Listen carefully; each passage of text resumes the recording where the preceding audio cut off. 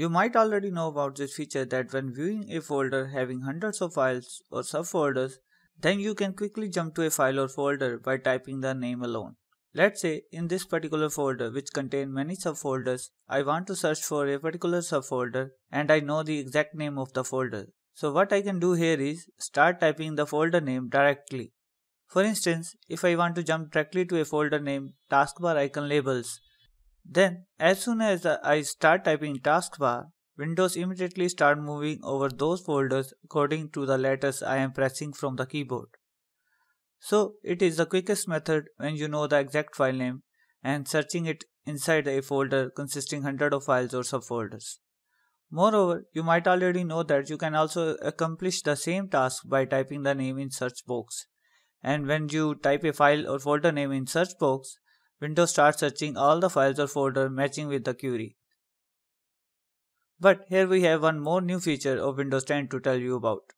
If you do a lot of search instead of typing the name directly in the file list, then Windows 10 gives you the opportunity to open the search box automatically when you start typing the name in the list.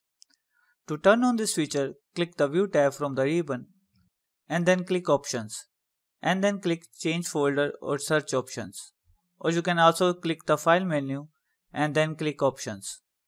From the View tab, scroll down to the bottom and under When typing into List View, Choose automatically type into the search box and then apply the changes.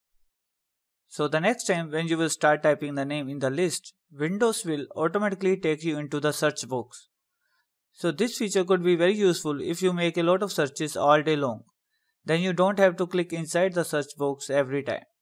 As soon as you will start typing the name, your cursor will automatically be moved into the Windows search box. And if you rather don't like this feature, then you can change back to Select the type item in the view anytime from the folder options. I hope you will find this video useful. Tell us by hitting the thumbs up button and do share this video with your friends. Subscribe to our channel for more upcoming tutorial videos. Thanks for watching and have a good day.